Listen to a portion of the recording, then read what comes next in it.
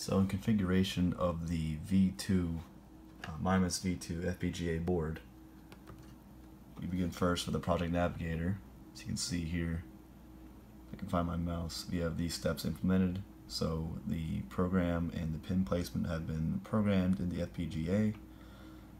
And then I use the MIMAS V2 FPGA configuration tool to upload the bin file generated from the simulation as you can see here in this table, it'll tell you the number of flip-flops or, registers, flip-flops, uh, latches, lookup tables, and a lot of other information concerning this uh, upload.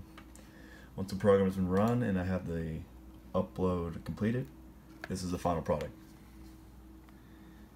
Demo 2 is meant to flash LEDs in sequential order as displayed. And these switches that I'm pointing at here with my thumb will control the number of LEDs as well as the speed at which they light up. So I'm going to light up all but one for an example.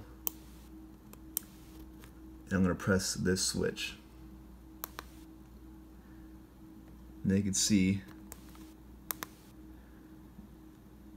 after flipping the switches here on this board here, a lot of the LEDs blink very rapidly pulling down some of these switches, press the button again for stimulation, for the transfer, much slower frequency, and it's a much more noticeable wave of LEDs flashing in that order.